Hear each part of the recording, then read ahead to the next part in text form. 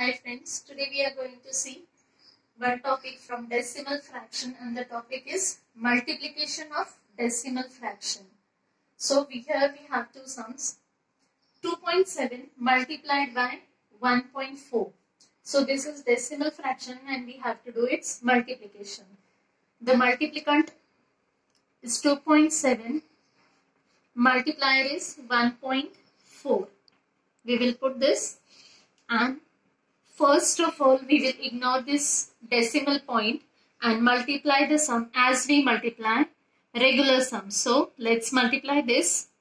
We will start from 4. 4 sevens are 28 to carry.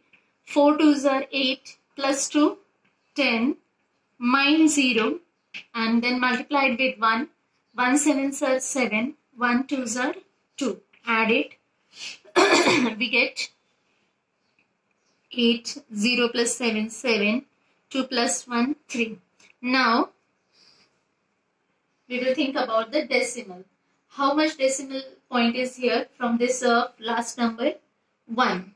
And here, it is in front of 1 number. So, we will count from back side two numbers, 1 and 2 and put the decimal point here. So, the multiplication of 2.7 uh, and 1.4 is equal to 3.78.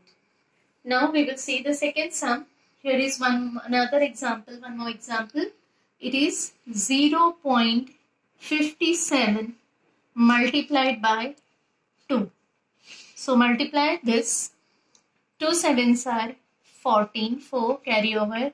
2 fives are 10.